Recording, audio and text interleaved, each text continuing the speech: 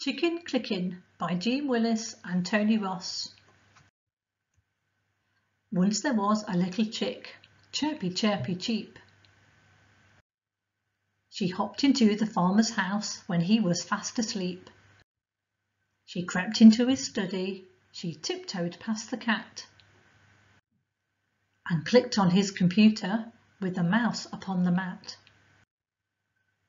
Cheepy chirpy cheepy click she had a little browse. She bought a funny teapot, click, she bought a frilly blouse.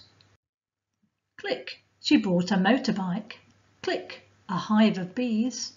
Good heavens, said the farmer, did I really order these? The second night the chick came back, cheepy chirpy click. She bought herself a diamond watch, click, tock, tick. She bought a hundred handbags and shoes from every site. The farmer blamed his wife who said the software wasn't right. The third night came and just the same, the chicken went online.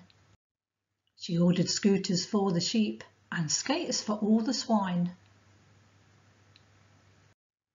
Click, she bought the cows a car. Click, she went again and booked the Bulla holiday away in sunny Spain. Click, she bought the horse a cart. Click, she bought a boat. The other chickens sailed away, amazed that they could float.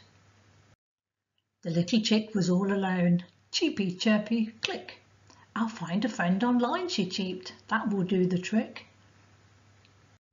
She bought herself a camera. Chirpy, chirpy, click. She preened her tiny feathers and she posed and took her pic. She put her photograph online, she gave her name and age. Click, another chick appeared upon the friendship page.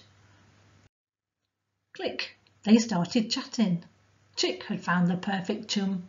Off she went to meet her without telling dad or mum. She went into the wily wood and waited by a tree. I found a friend online, she cheeped. The fox said, that was me. The end.